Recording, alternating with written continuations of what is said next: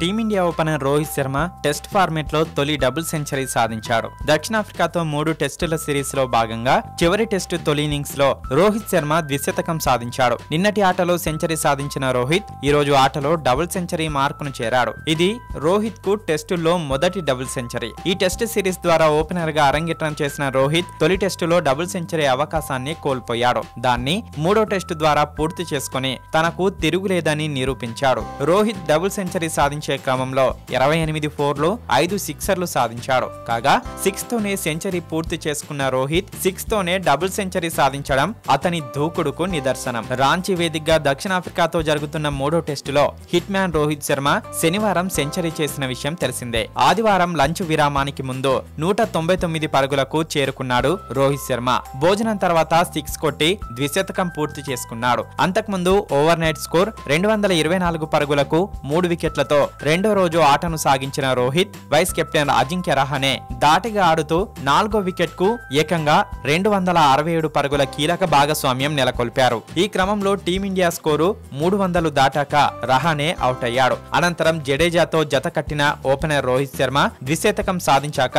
Rabada బౌలింగ్లో భారీ షాట్కు ప్రయత్నించి అవుట్ అయ్యాడు రోహిత్ శర్మ ఈ సిరీస్లోనే టెస్ట్ ఓపెనర్గా మారిన విషయం తెలిసిందే. విశాఖ వేదికగా దక్షిణాఫ్రికాతో జరిగిన తొలి టెస్టులో రోహిత్ శర్మ నూట డెబ్బై ఆరు నూట ఇరవై ఏడు పరుగులతో రెండు ఇన్నింగ్స్ లోనూ శతకాలతో చెలరేగిపోయాడు. ఆ మ్యాచ్లో టీమిండియా రెండు వందల మూడు పరుగుల తేడాతో విజయం సాధించింది. రెండో టెస్టులో రోహిత్ శర్మ పద్నాలుగు పరుగులతో నిరాశపరిచిన కోహ్లీ సేన ఇన్నింగ్స్ నూట ముప్పై ఏడు పరుగులతో గెలుపొందింది. ఇక మూడో టెస్టులో ఏకంగా ద్విశతకం సాధించడం విశేషం. ఇదిలా ఉండగా వన్డేలో రోహిత్ శర్మ ఇదివరకే మూడు ద్విశతకాలు చేసిన సంగతి తెలిసిందే. పరిమిత ఓవర్ల క్రికెట్లో ఎవరికీ సాధ్యం కాని విధంగా రోహిత్ శర్మ రెండు వందల అరవై నాలుగు రెండు వందల తొమ్మిది రెండు వందల ఎనిమిది పరుగుల భారీ ద్విశతకాలు సాధించాడు.